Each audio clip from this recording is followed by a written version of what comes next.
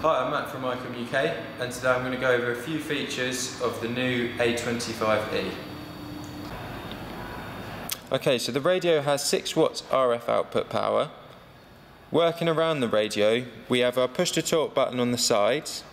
We also have the squelch up and down keys. The button on the side at the top turns the light on the display on. We've obviously got our antenna and channel recall selector here and our VFO frequency selector.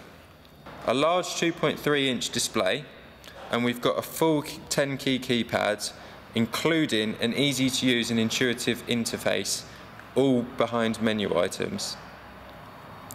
The radio features VOR navigation and GPS navigation. For more information, please contact sales at icomuk.co.uk or phone us on 01227 741 741.